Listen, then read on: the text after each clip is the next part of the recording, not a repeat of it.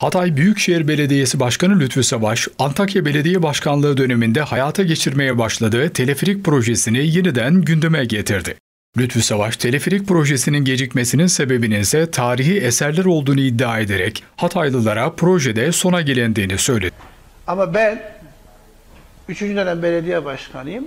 Küçük bir kremit parçası bulsam ki öyle oldu şeyde. Teleferiğin olduğu yerde biz 10 yıldır uğraşıyoruz. Ha inşallah Expo'ya yetiştireceğiz onu söyleyeyim. Savaş teleferikle ilgili olarak 10 yılın ardından gerekli izinlerin alındığını söylerken projenin 1 Nisan 2022 tarihinde başlayacak olan Expo'ya yetişeceğini söyledi. İmar şirketine verdik. İmar şirketi yapacak. Ee, Expo'ya kadar da bitecek inşallah.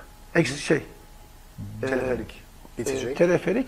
Bu vakıf işyanı konusunu söyleyeyim. Biz anlaşmamızı yaptık. Lütfü Savaş 30 Haziran 2021 tarihinde de projeyle ilgili olarak meclisin kendilerine izin vermediğini söylemişti. Büyükşehir Belediyesi ise 2020 Eylül ayında projenin %85'inin bittiğini kamuoyuna duyurmuştu.